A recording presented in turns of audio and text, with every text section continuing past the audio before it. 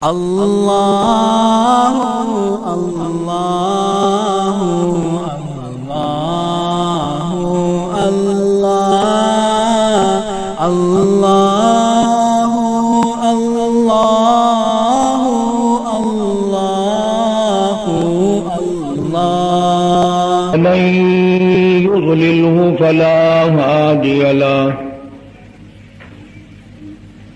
ونشهد أن لا إله إلا الله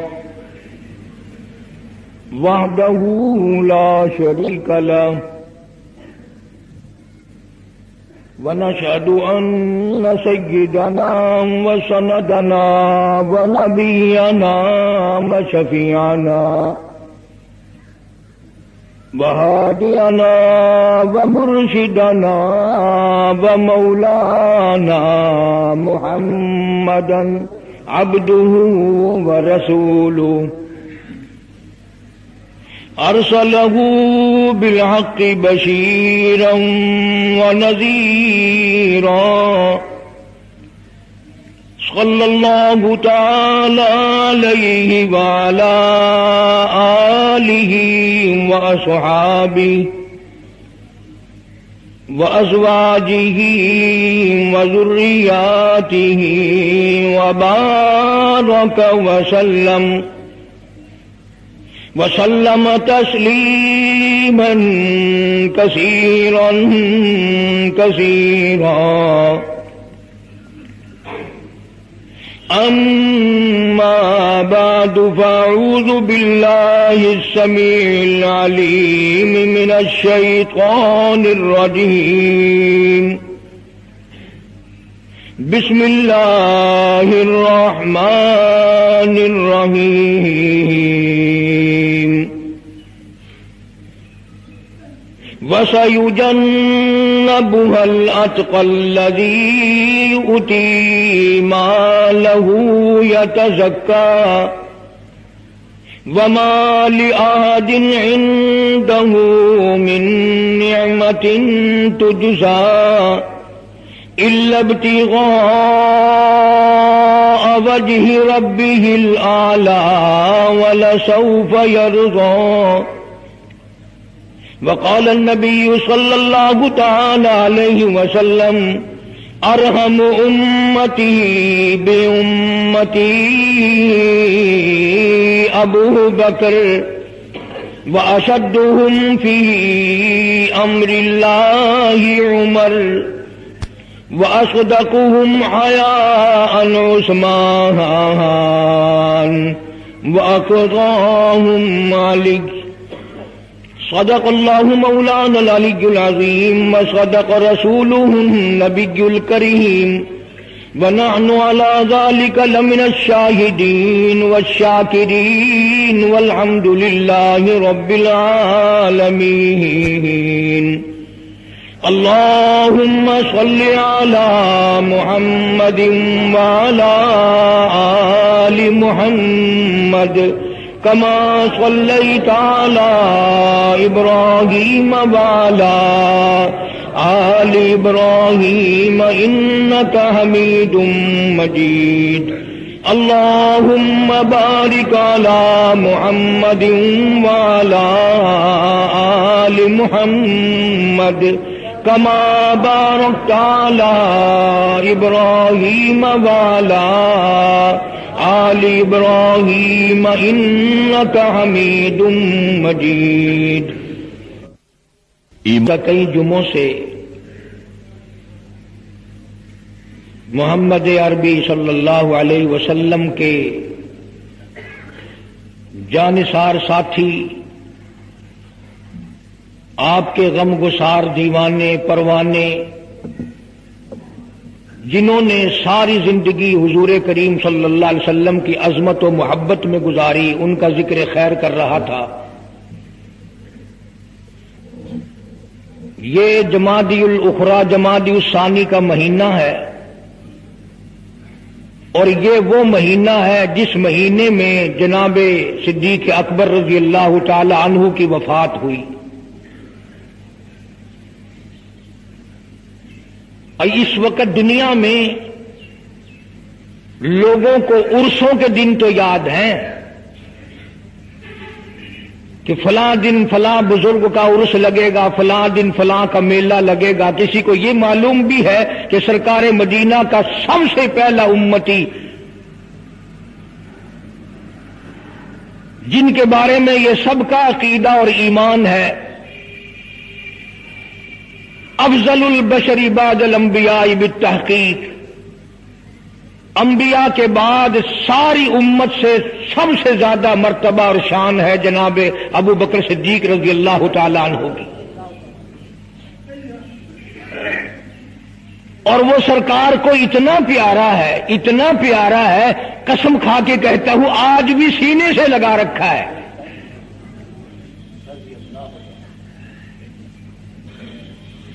مگر ہم میں سے کون یاد رکھے کہ وہ کون سی تاریخ ہے، وہ کون سا مہینہ ہے؟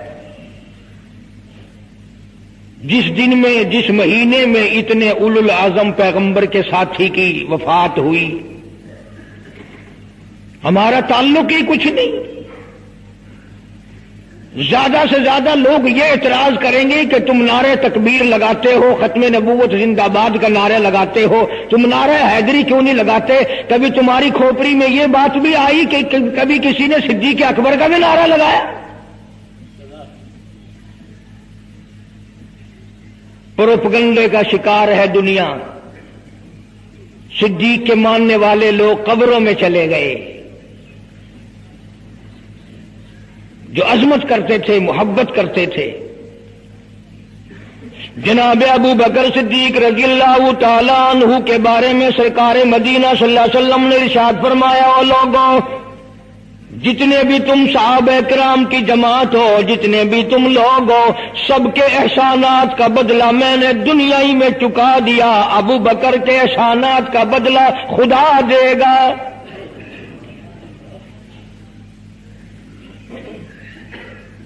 اتنا بڑا عظیم انسان ہے، جس کو کالی کملی والے نے صدیق کا لقب دیا، عتیق کا لقب دیا۔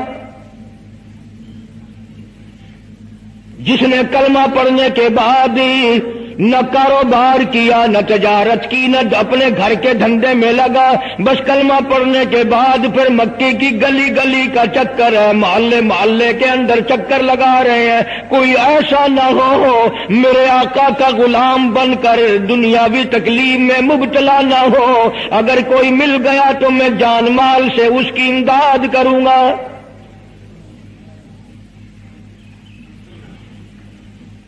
سرکار مدینہ صلی اللہ تعالی علیہ وسلم کا پہلا ساتھی، پہلا غم گسار ایسا ملا ایسا ملا، جو گلی گلی میں چکر لگاتا پھرتا ہے۔ جناب ابو بکر رضی اللہ تعالیٰ نو فرماتے ہیں، میں ایک محلے میں جا نکلا اور میں نے جا کے دیکھا کافروں نے ایک دیگ پانی کی بھری ہوئی ہے اور ایک ستر سالہ بوڑھی مائی کو اس میں گوتا دیا ہوا ہے، سر پہ ہاتھ رکھ کر ڈبایا ہوا ہے۔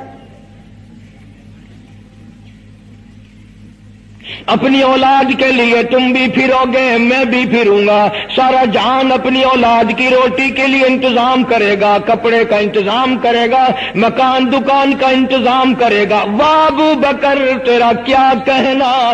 ساری دولت کالی کملی والے کی عظمت پہ لٹا دی۔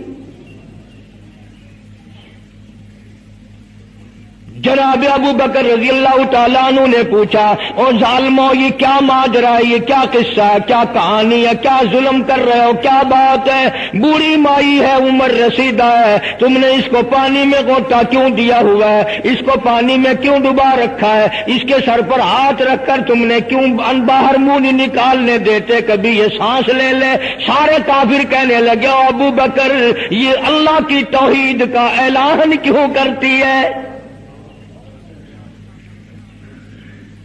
یہ کلمہ کیوں پڑتی ہے؟ ہم چھڑا دیں گے۔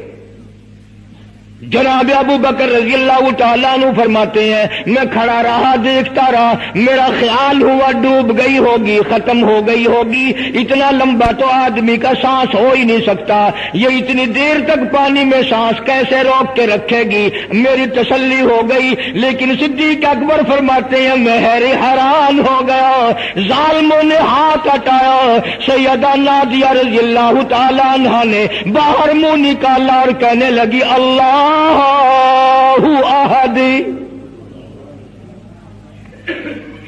او مکے والوں او بتوں کے پجاریوں طرح طرح تم لوگوں کو مشکل کشا ماننے والوں حاجت روا ماننے والوں لوگوں کے سامنے جھک کر قبروں سے بیٹے مانگنے والوں اپنی مرادوں کو پورا کرنے کا مطالبہ کرنے والوں تم جو چاہو کر سکتے ہو، میں اب بھی خدا کو ایک مانتی ہوں۔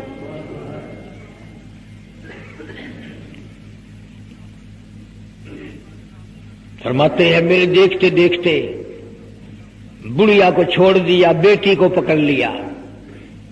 جوان بیٹی تھی، اس نے بھی کلمہ پڑا تھا۔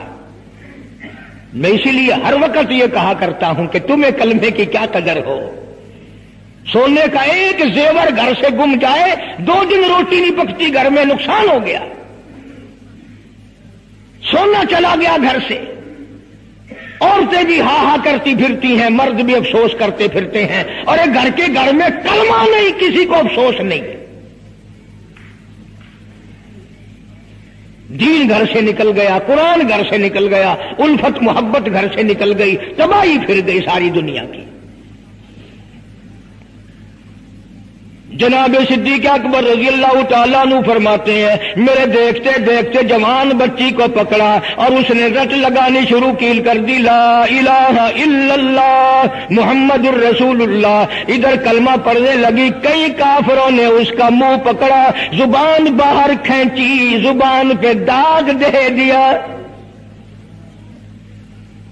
گرم گرم لوہے سے زبان کو داغ دے دیا۔ جناب ابو بکر رضی اللہ تعالیٰ عنہ فرماتے ہیں، میں دیکھتا رہا، جب ظالموں نے لوہا گرم ہٹایا، اس بچی کے منہ سے پھر یہی لفظ نکلا، اللہ احد، اللہ ایک ہے۔ وہ اپنی ذات میں، صفات میں یکتا ہے، وہ کسی کا محتاج نہیں، کسی کو اپنی ذات میں، صفات میں اس نے شریک نہیں بنایا۔ یہ جو تمہیں کہتے ہیں نا اور جی یہ بھی تو اللہ نہیں بنائے ہو بنائے ہیں تو بندے بنائے ہیں نا، خدا تو نہیں بنائے۔ کلندر بنائے، بزرگ بنائے، فقیر بنائے، پیر بنائے، اور بنائے تو اس نہیں ہے نا۔ جب اسی نے بنائے ہیں، اور جب وہ چاہتا ہے تو پھر ان کو موت بھیج دیتا ہے۔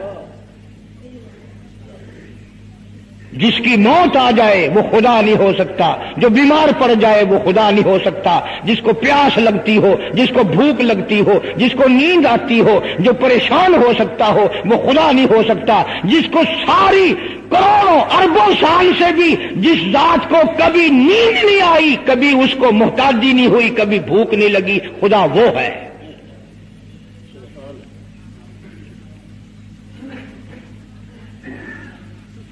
دنیا پتہ ہی نہیں، جا کے ڈر رہی ہے۔ جناب صدیق اکبر رضی اللہ تعالیٰ نو فرماتے ہیں، میں نے ظالموں سے کہا ظالموں، نہ مارو۔ کافر کہنے لگے، تجھے کیا ہماری دونوں باندیاں ہیں، غلام ہیں؟ یا کلمہ چھوڑ دیں گی یا جان سے مر جائیں گی؟ اتنا تک ہم نہیں چھوڑیں گے۔ ابو بکر کی ان سے رشتہ داری کوئی نہیں، عزیز داری کوئی نہیں، قرابت داری کوئی نہیں، سکے کوئی نہیں، برادری نہیں۔ ابو بکر میں کھڑا کھڑا اعلان کرتا او مکے والوں مانگو جو مانگتے ہو۔ کالی کملی والے کی دیوانیوں کو میں آزاد کرا کے چھوڑوں گا۔ دولت میری ہو، اللہ کی توحید کے کام آئے۔ پیسہ میرا ہو، میں اس پیسے کا کروں گا کیا؟ میرے نبی کا کلمہ پڑھنے والی مصیبت میں رہے اور میں دولت مند بہنا بیٹھا رہوں۔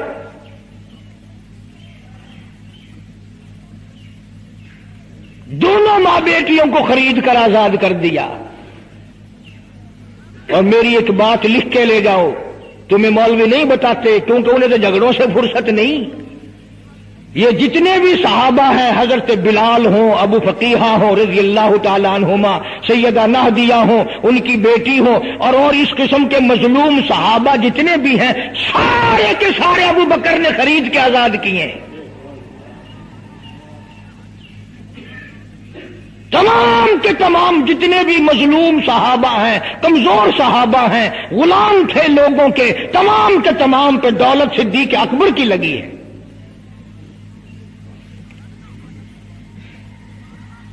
دین کا عظمت والا، اتنی اس اسلام کی شان کا رکھنے والا کہ تن من دھن سارا قربان کر دیا۔ اور پھر آپ لوگ تو کیونکہ ہم رات دن اسی سلسلے میں رہتے ہیں، ہم بھی تم میں سے ہی ہیں۔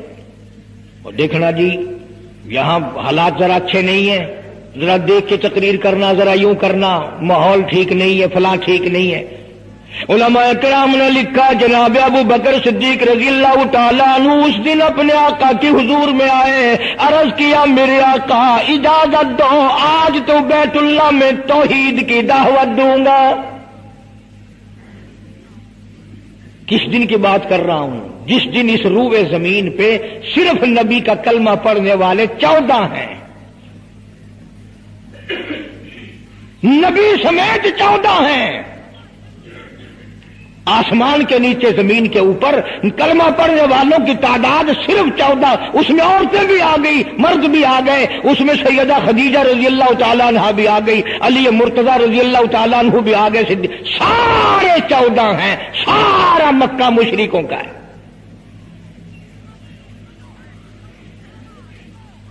حضور کریم سب کا جو صلی اللہ علیہ وسلم نے فرمایا، ابو بکر تعداد بڑی تھوڑی ہے، غریب لوگ ہیں۔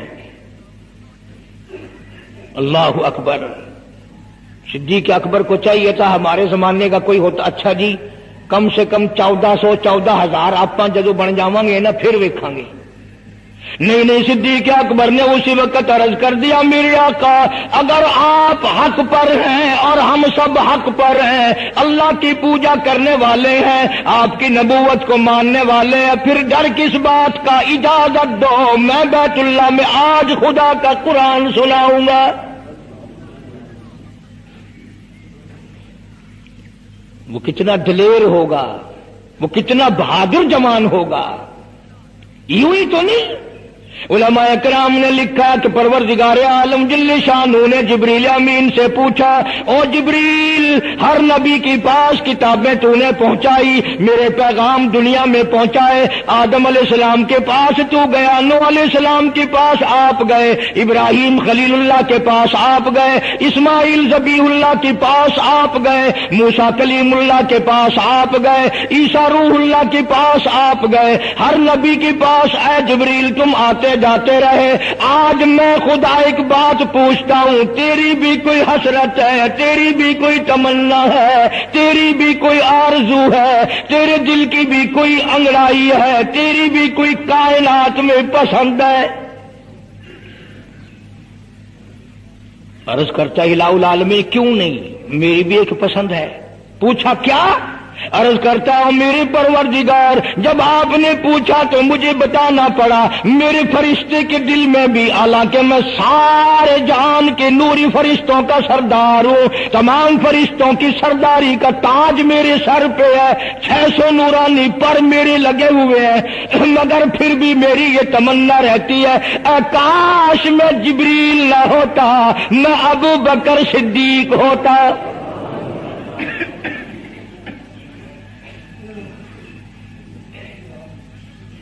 کیا بات ہے؟ مالک کائنات نے جب نبوت سب سے نرالی دی، قرآن جیسی کتاب آسمان نے نرالی دی، تو یار بھی تو چن چن کے دیے نا۔ اسی لیے میں کہا کرتا ہوں کہ ہمارے نبی کے یار بھی نرالے، میرے نبی کے رشتہ دار بھی نرالے۔ میرے نبی کی بات بھی نرالی، میرے نبی کی جماعت بھی نرالی۔ کون مقابلہ کرے؟ صلی اللہ علیہ وسلم۔ اجازت مل گئی۔ توجہ رکھنا۔ صدیق اکبر رضی اللہ تعالیٰ عنہ نے جب اجازت مانگی تو یہ نہیں کہ اجازت دے دی، چلے جاؤ، میں دعا کروں گا۔ یہ بات نہیں۔ صدیق اکبر کو اجازت دی۔ جب ابو بکر صدیق رضی اللہ تعالی عنہ اٹھ کے چلے اللہ کی توحید کا اعلان کرنے کے لیے، قرآن سنانے کے لیے، سرکار بھی خود تشریف لے گئے۔ صلی اللہ علیہ وسلم۔ اندازہ لگاؤ، اس جلسے کا کیا شان ہوگا، اس کی کیا عظمت ہوگی کہ تقریر کرنے والا صدیق ہے صدارت کے امام الانبیاء ہے۔ صلی اللہ علیہ وسلم۔ یہی لکھا علماء کرام نے کام ابو بکر، کھڑے ہو گئے ابو بکر۔ ہوا جالس نبی کریم صلی اللہ علیہ وسلم کے بارے میں لکھا، آپ بیٹھ گئے۔ اور پھر ابو بکر صدیق رضی اللہ تعالی عنہ نے اللہ کا قرآن سنایا، بیت اللہ میں، خانہ کعبہ میں۔ پھر یہ نہیں کہ کسی نے نعرے لگائے ہوں، مرحبا کہا ہو، پھولوں کے ہار ڈالے ہوں، مٹھائی تقسیم کی ہو۔ سرکار مدینہ صلی اللہ تعالی علیہ وسلم کے سامنے صدیق اکبر کو لوگوں نے اتنا مارا اتنا مارا، بے ہوش کر دیا۔ حالانکہ ابو بکر نے قرآن پڑھا، وقال رجل مؤمن من آل فرعون۔ یکتم ایمانہ اتقتلون رجلا کیا تم اس کو قتل کرنے کا ارادہ رکھتے ہو؟ ای یقول ربی اللہ جو اتنی بات کہتا ہے، میرا رب اللہ ہے، مشکل کشا اللہ ہے، حاجت روا اللہ ہے، میری حاجات کو جاننے والا بھی اللہ، ان کو پورا کرنے والا بھی اللہ، بیماری دینے والا بھی خدا، دور کرنے والا بھی خدا۔ یقول، ربی اللہ۔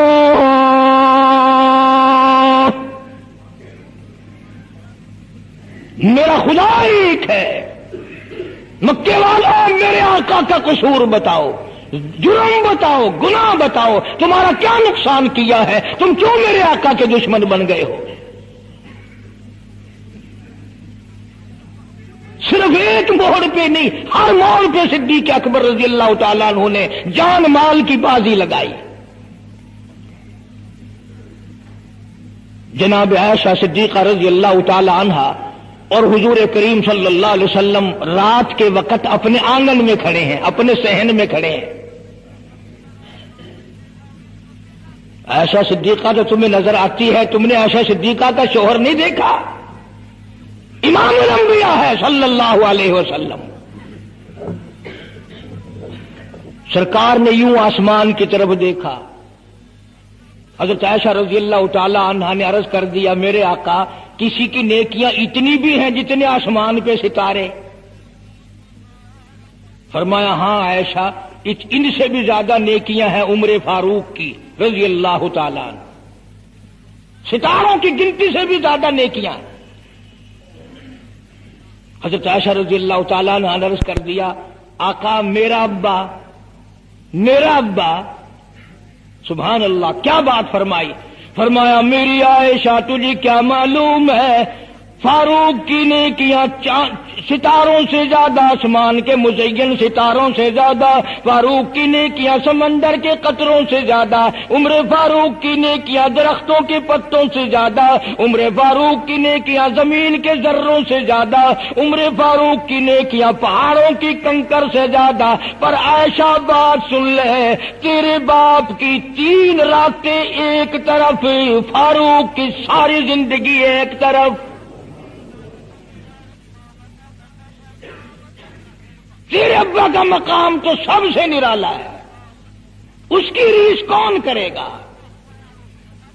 کون ریس کر سکتا ہے جناب ابو بکر صدیق رضی اللہ تعالیٰ عنہ کی؟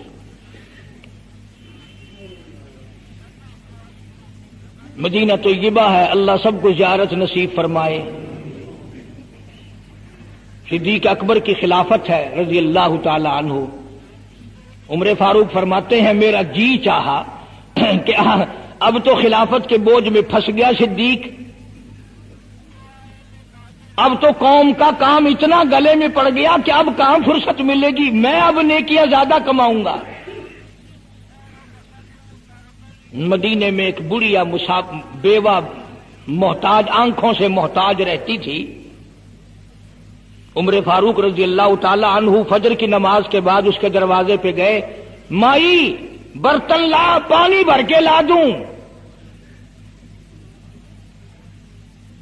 اندر سے جواب ملا، جزاک اللہ اللہ تجھے جزائے خیر دے، پوچھنے آیا، تیرے سے پہلے اور کوئی سارا ہی کام کر کے چلا گیا۔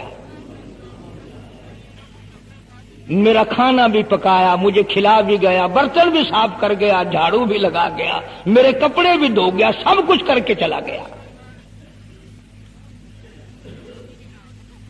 آج کون کرے گا؟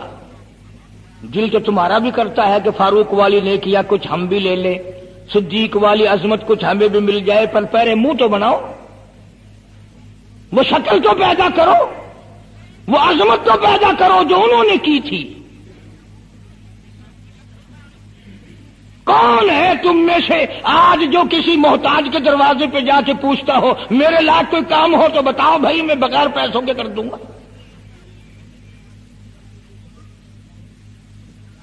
اگر کوئی بیمار بھی پڑ جائے، اچانک بیمار ہو جائے، تو اس کا ہی کوئی لواحق، گھر کا آدمی کوئی دوڑے تو دوڑے، برابر میں سے مجال ہے کوئی اسپتال تک لے جانے میں، ڈاکٹر کو لانے میں، کون امداد کرے؟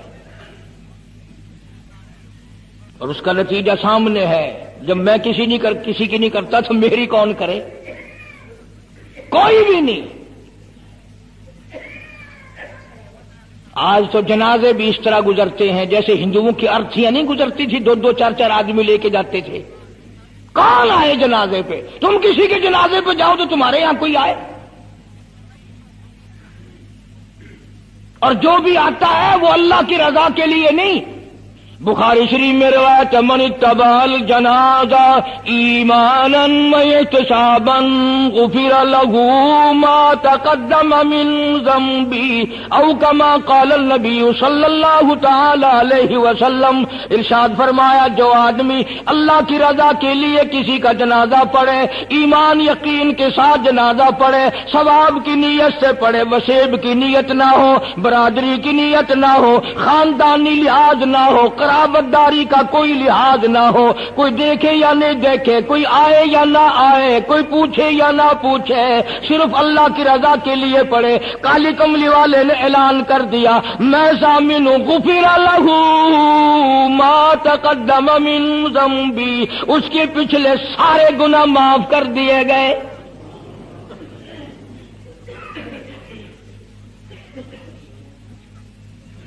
سارے گنا بخش دیے جاتے ہیں۔ جب مسلمان کا جنازہ بغیر لالچ کے، بغیر تما کے، بغیر کسی اور وجہ کے صرف اللہ کو راضی کرنے کے لیے اس نیت سے جنازہ پڑے کہ یہ اللہ کے بندے کا جنازہ ہے۔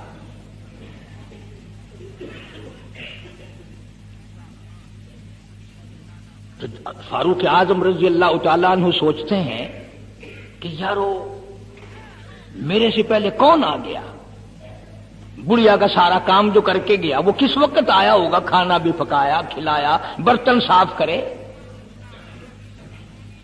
دوسرے دن جناب فاروق اعظم رضی اللہ تعالی عنہ فجر سے پہلے گئے۔ لا بوڑھی مائی، برتن دے پانی بھر کے لا دوں، اور کوئی سودا سامان ہو، مجھے بتلا میں لا کے دوں۔ اندر سے آواز آتی ہے، جزاک اللہ، تجھ سے پہلے کوئی اور، میرا سارا ہی کام کاج کر کے چلا گیا۔ نے کہا کون ہوگا؟ تیسرے دن جناب فاروق اعظم رضی اللہ تعالیٰ عنہ اذان سے پہلے پہنچے فجر کی، تو دیکھتے کیا ہے کندھے پہ پانی کا مٹکا بھرا ہوا ایک آدمی اندر لے کے داخل ہوا۔ تو فاروق اعظم فرماتے ہیں، میں نے سوچ لیا کہ چلو، موقع تو آج بھی گیا، پر پتا تو چلے گا یہ ہے کون؟ پتا تو چلے گا یہ کون ہے؟ دروازے پہ بیٹھ گئے۔ سارا کام نمٹانے کے بعد جب باہر نکلے تو فاروق اعظم نے پلہ پکڑ لیا وہ کہنے لگا، تین دن ہو گئے مجھے خراب ہوتے ہوئے۔ اللہ کے بندے، بتا تو صحیح کون ہے؟ فرمایا، اے عمر، یار جانے دے، میں تیرا بھائی ابو بکر صدیق ہوں۔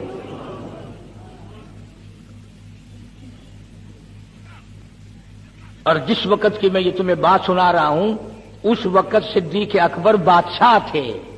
خلیفہ تھے امیر المومنین تھے خلیفت المسلمین تھے، صدیق اکبر تھے، اور تقریباً بانوے لاکھ مربع میل۔ کیوں؟ اور اگر کسی کو کچھ تھوڑا بہت نوکری ملازمت مل گئی، پتلون والا آیا تو سیدھا گھس گیا، کوئی دھوتی والا آیا تو وہ چپڑاسی کرتا ہو، کی ہے؟ اگر صاحب لال کا میں چل پڑے، تیرے واسطے صاحب بیٹھے آئے باہر نکل۔ اندازہ لگا۔ غریب آدمی دیکھ کر سپاہی بھی چپڑاسی بھی چرفاسی بھی سارے پیچھے پڑ جاتے ہیں۔ سادے کپڑوں والا دیکھا اور پھر قانون حرکت میں آ جاتا ہے۔ اور اگر انگریز کا لباس ہو، گلے میں پھانسی لٹکی ہوئی ہو، سر پہ ٹوکرا ہو اور پتلون پہن رکھی ہو، پھر گرم گرم گرم گرم سیدھا پہنچتا ہے۔ پھر چپراسی کی بھی آنکھیں مٹ جاتی ہیں اور دلی بھی اندھا ہو جاتا ہے۔ کوئی نہیں پوچھتا۔ انہوں کوئی نہ کوئی صاحب کے ملنے والا آدمی ہے، خود تو صاحب ہے یہ جانے والا۔ میں جس وقت کی بات عرض کر رہا ہوں، صدیق اکبر حکمران تھے، امیر المومنین تھے خلیفت المسلمین تھے، پیغمبر کے سسر تھے، ایسا صدیقہ کے ابا تھے، حضور کریم صلی اللہ علیہ وسلم کے جانشین تھے۔ مدینہ منورہ میں یہ بات ہوئی۔ اور سنو، جب صدیق اکبر رضی اللہ تعالی عنہ کی بادشاہت اور خلافت اور امارت آئی، مدینے کی گلی میں ایک آدمی نے آواز لگائی، ہل ادی! ہے کوئی مزدور! کوئی مزدور ہے؟ وقت کا بادشاہ صدیق اکبر رضی اللہ تعالیٰ عنہ قریب گئے ہاں حاضر ہوں۔ مزدور آ گیا۔ اللہ اکبر۔ پوچھو کیا کام ہے؟ کہتا، میری بکری مر گئی ہے، اسے اٹھا کر شہر سے باہر پھینکنا ہے۔ تاریخ گواہ ہے، صحابہ گواہ ہے مسلمان گواہ ہے علماء گواہ ہے امیر المؤمنین ہوتے ہوئے صدیق اکبر نے مردہ بکری کندھے پہ اٹھا رکھی ہے اور چار انیہ مزدوری کے لیے باہر پھینکنے چلا ہے۔ کون ایسا کرے گا؟ ہم سارے جنتی بڑے پھرتے ہیں، کبھی اپنے حالات پہ جو نظر ڈالا کرو۔ آپ ہی اپنی اداؤں پہ ذرا غور کرے ہم اگر عرض کریں گے تو شکایت ہوگی۔ ارے رات بھی ہے، دن بھی ہے، کبھی اکیلے بھی ہوتے ہوگے، کبھی تو نظر مارو۔ وقت کا خلیفہ، وقت کا بادشاہ۔ ایک چونی مزدوری کے لیے مردار بکری پھینکنے باہر جاتا ہے۔ اس لیے کہ میری روٹی حلال کی ہو، میرا کھانا حلال کا ہو۔ جناب صدیق اکبر رضی اللہ تعالیٰ عنہ کا ایک غلام تھا۔ وہ کھانا لایا کہیں سے۔ تو ہر دن تو پوچھ لیا کرتے تھے کہ تو کہاں سے لایا۔ تین دن کی بھوک نے اتنا بےتاب کر دیا تھا، اتنا تنگ کر دیا تھا کہ وہ کھانا لایا تو ایک لک میں کھا لیے اور پھر پوچھا کہاں سے لایا تھا بھائی؟ کیسے کمایا تھا؟ وہ کہنے لگا، مجھے ایک دم آتا ہے، میں کسی کو بچھو لڑ گیا تھا، میں نے وہ دم کیا تھا، ایک قوم ہے، اسے خیر آ گئی تھی۔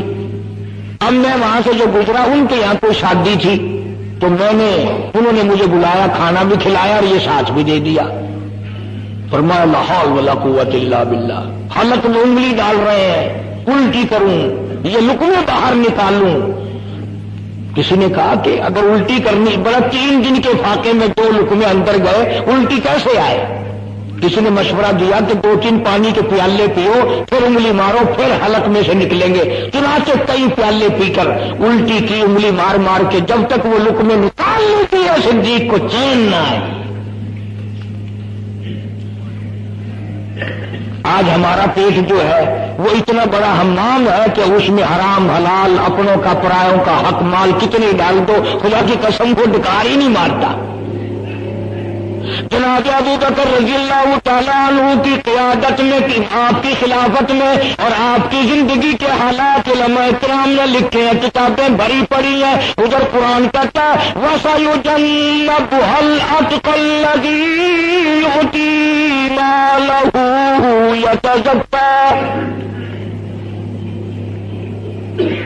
وہ جوان، اتنا تقوی والا، اتنی پرہیزگاری والا اتنی محبت کرنے والا جنگ تبوک کے موقع پر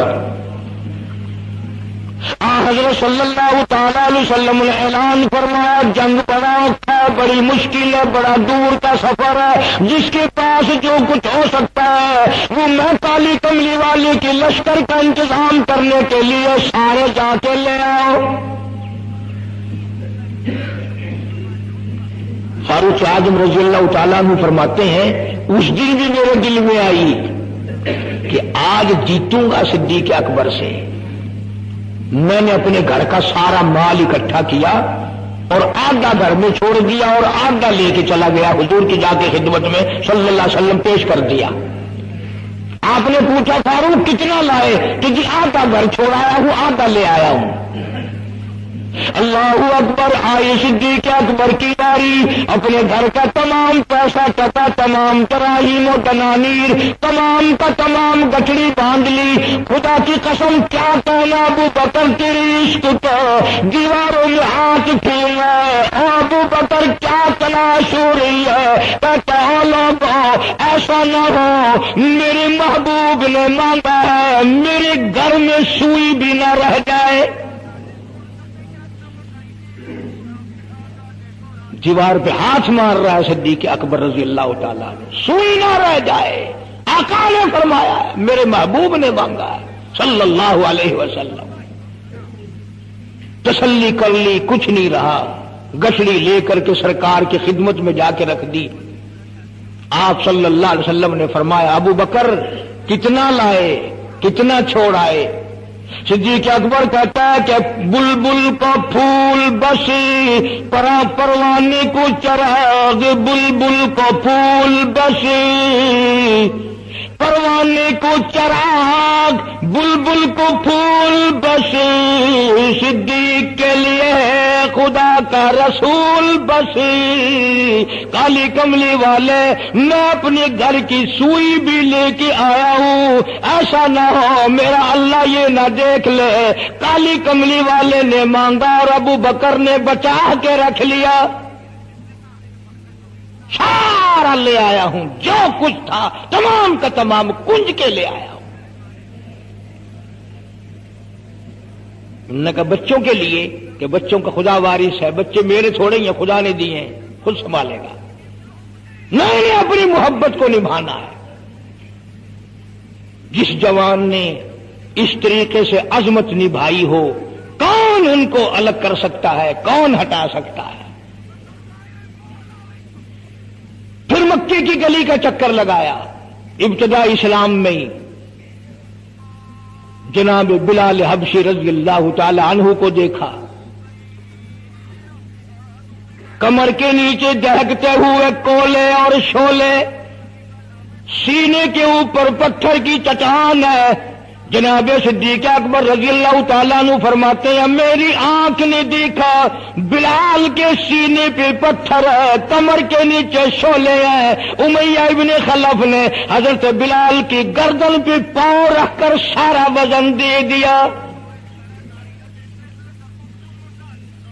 حضرت بلال رضی اللہ تعالیٰ عنہ کی زبان باہر نکل آئی۔ اتنی لمبی زبان باہر لٹک گئی۔ صدیق اکبر نے امیہ ابن خلف سے کہا، ظالم ایک طرف ہٹ، میں بلال سے کوئی بات کرتا ہوں.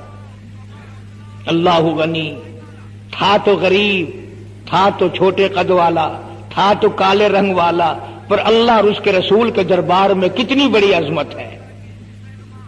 صدیق اکبر قریب ہوئے وہ فرمانے لگے، بلال، تو بھی بولا ہے، اتنی بڑی مار کھا رہا ہے، مجھے مار پڑ رہی ہے تیری عقل نہیں کام کرتی؟ انہوں نے کہا، کیوں؟ کہ حالات ٹھیک ہو جائیں گے نا؟ پھر زور زور سے اللہ کی توحید کا اعلان کرنا۔ دل دل میں خدا کو یاد کر لیا کر، کتنی مار پڑ رہی ہے تجھے؟ اور میری آنکھ نے دیکھا، میں برداشت نہیں کر سکا، تجھے مار پڑ رہی ہے کہ تو ہنستا نہیں؟ اللہ غنی، یوں لکھا ہے کتابوں میں، حضرت بلال رضی اللہ تعالی عنہ کی آنکھوں میں آنسو آ گئے۔ اور فرمانے لگے، ابو بکر، کوئی اور اگر یہ بات کہتا تو کوئی بات نہ تھی۔ تو نے نہ کہنی تھی۔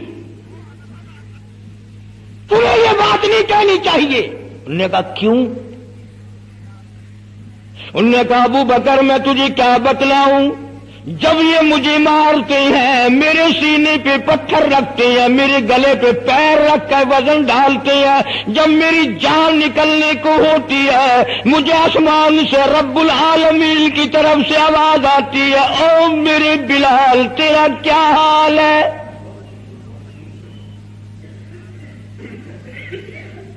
جب وہ آواز آتی ہے اور مجھے اپنے رب کا دیدار ملتا ہے میں زور سے کہنے پہ مجبور ہو جاتا ہوں۔ چوٹ تو مجھے بھی لگتی ہے نا؟ تکلیف تو مجھے ہو رہی، تجھے کیا پتا رگ رگ میں کانٹے چب ہوتے ہیں، رات دن مارتے ہیں، پر جب زیادہ مجھے تکلیف ہوتی ہے، میرا خدا مجھے پوچھتا ہے اور یوں اعلان ہوتا ہے، اور میرے بلال، تیرا حال کیا ہے؟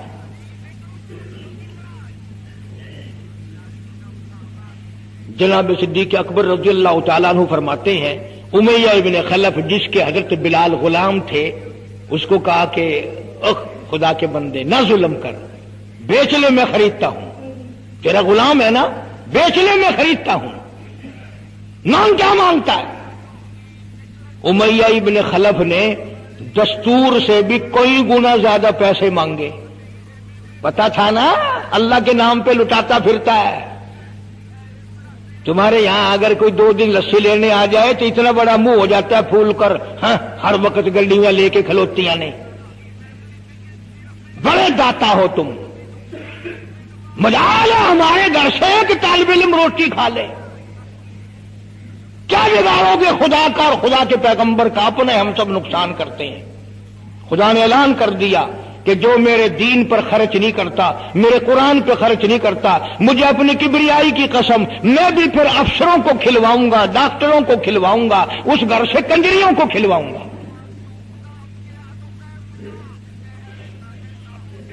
بے تحاشا پیسے مانگے امی ابن خلف نے۔ صدیق اکبر رضی اللہ تعالیٰ نے فرمایا، بے شک سودا ہو گیا، میں نے بلال کو خرید لیا۔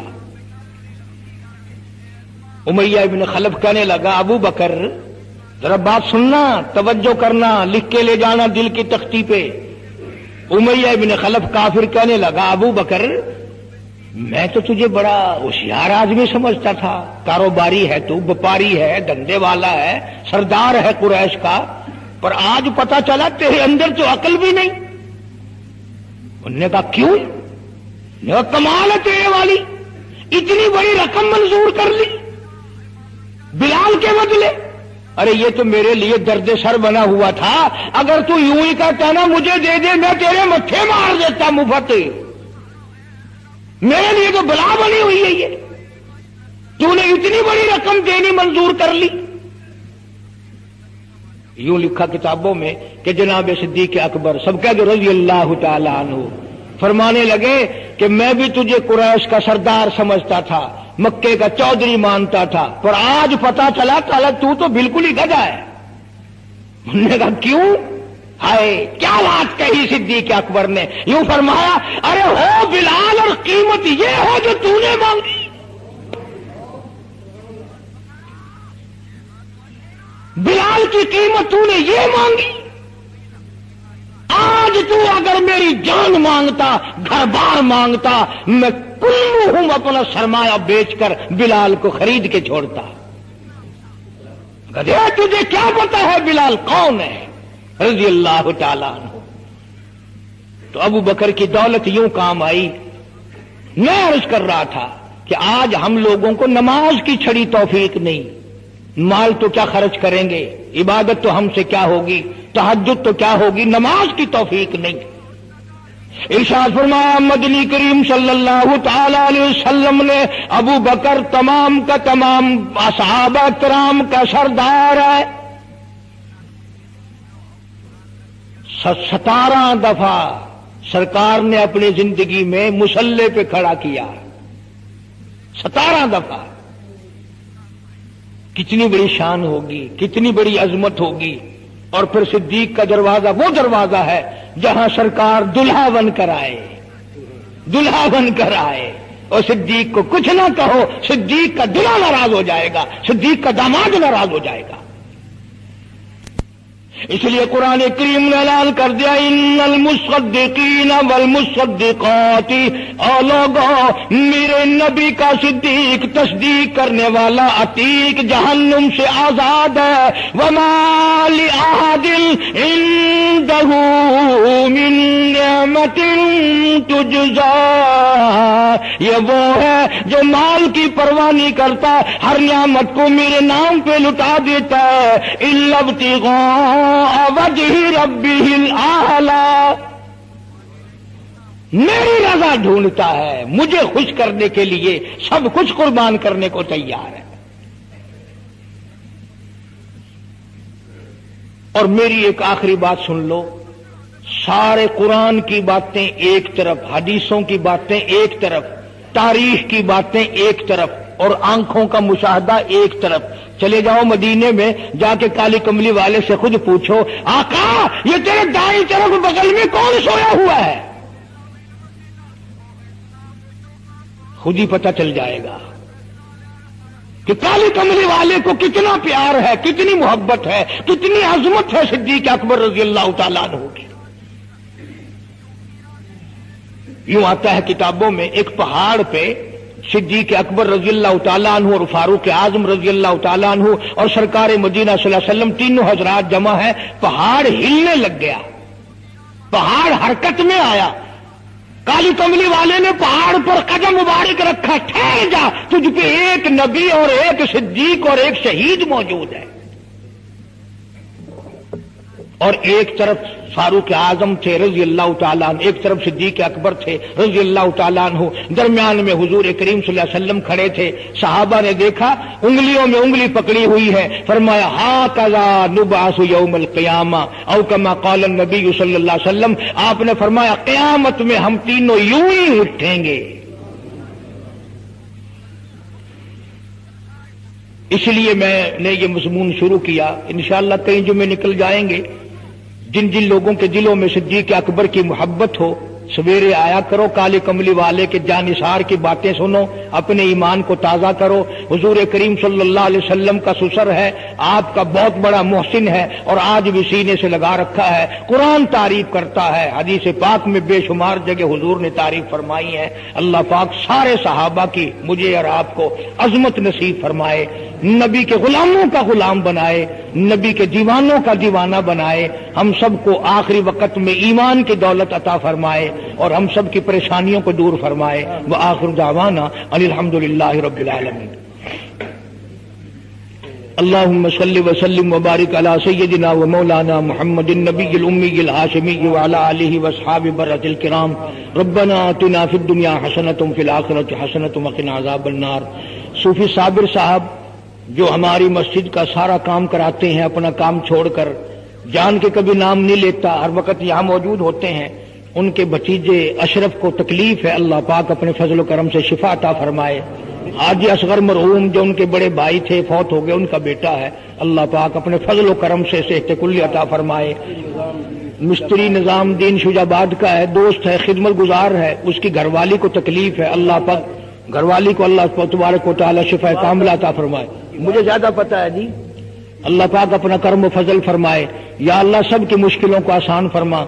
یہاں بستی میں ایک ہندوستان سے بچہ آیا ہوا ہے، اس کی بھی طبیعت خراب تھی۔ اللہ پاک شفا کاملہ، عاجلہ مستمر عطا فرمائے۔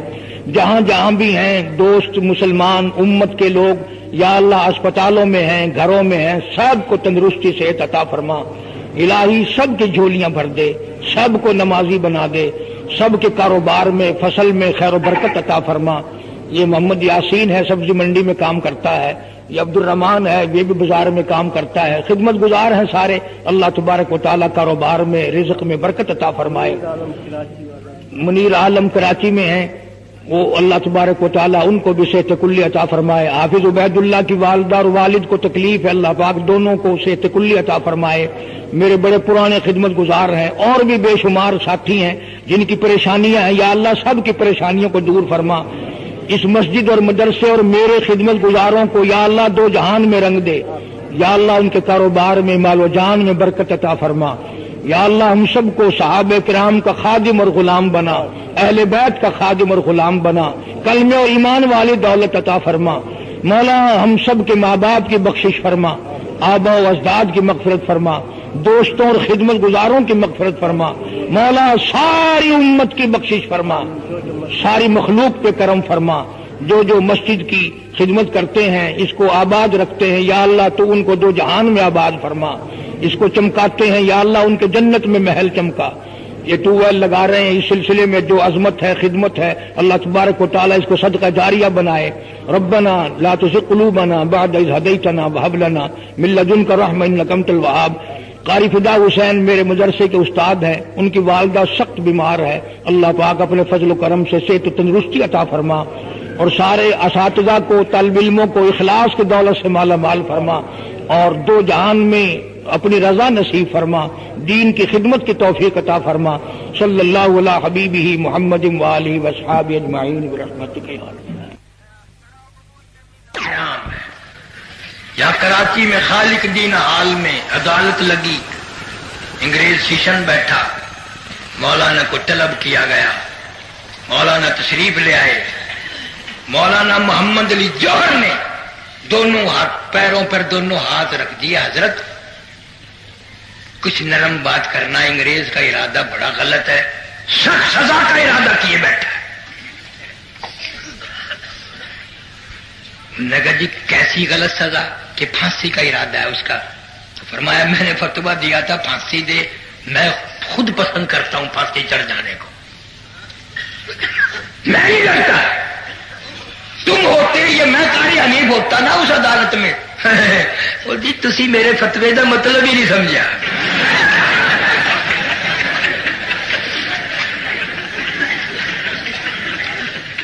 سو چکر کاٹ جاتا یہ تو ان اللہ والوں کی شان ہے حیات بسروری کہتا دل لائی دکھ اور چل دے جڑے قوم چ بندے نے دلیر ہوندے دل لائی دکھ اور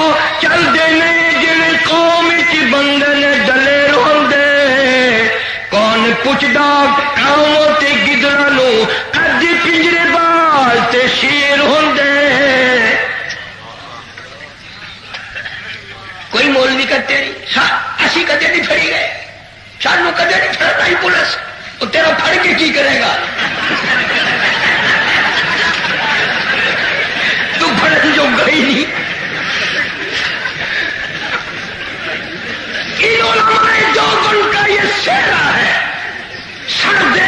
مرزائیت کے مسئلے میں یہ دیں گے رافضیت قادیانیت کے مسئلے میں سڑ دیں گے تو یہ دیں گے، ہر باطل سے، ہر کفر سے یہ ٹکرائیں گے۔ ہماری ریت ہے۔ اور ہمیں، ہمارے بزرگوں نے بتایا کہ اس میں بڑا مزہ آتا ہے۔ کتا دین لئی دکھ اور چل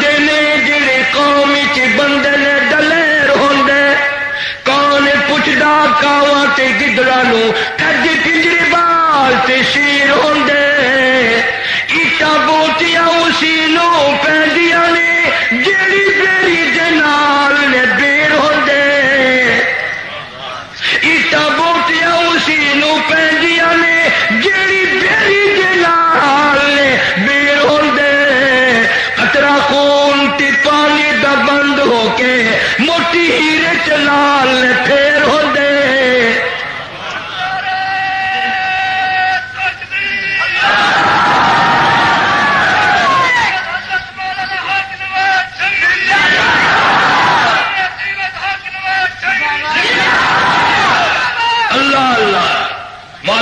مدنی رحمت اللہ علیہ سے انگریز نے پوچھا کہ آپ نے فتوا دیا ہے کہ ہماری فوج میں بھرتی ہونا حرام ہے?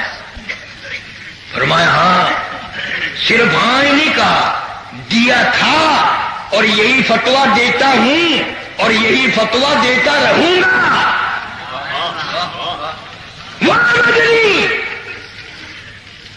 قسم ہے پروردگار کی سولہ مہینے حضرت کے جوتے میں بیٹھا۔ ایسا معلوم ہوتا تھا کہ اگر ان دنوں میں موت آ جاتی تو کون پوچھنے والا تھا جنت میں کہ تم کدھر جا رہے ہو؟ دل مانتا تھا۔ ساڑھے آٹھ سو طالب علم صرف دور حدیث میں تھا۔ یہ مولانا محمد عمر صاحب پالم پوری میری اسی دور حدیث کی کلاس میں تھے۔ ہم دور حدیث کے ساتھی ہیں جو کے۔ کوئی کوئی بات تھی؟ کوئی طالب علم تھے؟ آنسو رومال خریدنا پڑتا تھا ہر طالب علم کو آنسو صاف کرنے کے لیے۔ تو شمائل ترمزی کاری محمد طیب صاحب رحمت اللہ علیہ پڑھاتے تھے، وہ سیرت کے پیکر تھے۔ اللہ اللہ اللہ، کیا بات تھی۔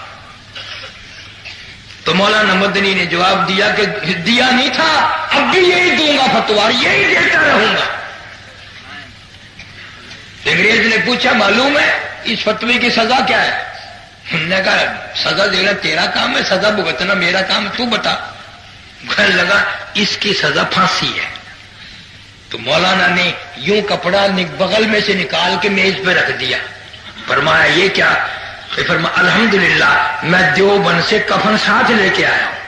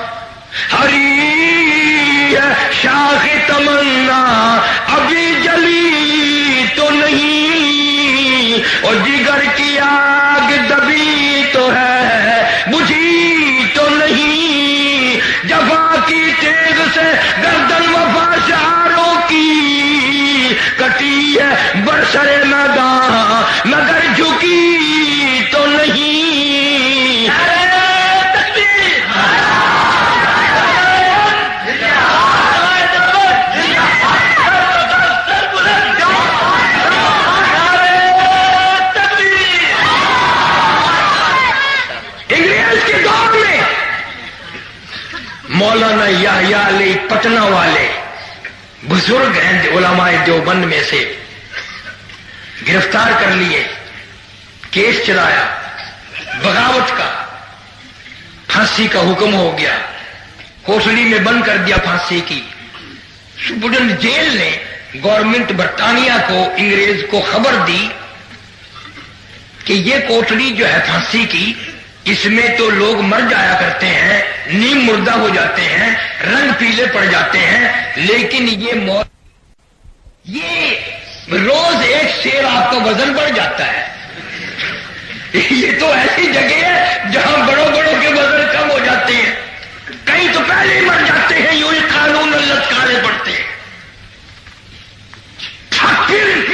ہو جاتا ہے۔ اور آپ کے چہرے پہ ماشاءاللہ رونق آ رہی ہے۔ نکھار آ رہا ہے۔ چہرے پہ رونق دوبارہ ہو رہی ہے۔ کیا وجہ ہے؟ مولانا نے فرمایا، اصل وجہ بتاؤ کہ ہاں بتاؤ کہ میں جب سے قرآن پڑھنے لگا ہوں نا، اور جب سے یہ ایت پڑھی ہے، مجھے شہادت کا بڑا شوق ہے۔ جب سے تم یہاں پھانسی کوٹلی میں لائے ہو، میں خوش ہو رہا ہوں۔ آج شہید ہوں گا۔ آج اللہ کی حضور میں حاضر ہوں گا۔ آج محمد کریم صلی اللہ علیہ وسلم کا دیدار کروں گا۔ آج صحابہ کرام کی ملاقات کروں گا۔ تو مجھے تو خوشی ہو رہی ہے ایسی جیسی شادی کی خوشی ہوتی ہے۔ اور کہنے لگا، ولا تقولوا لمن يقتل في سبيل الله اللہ اللہ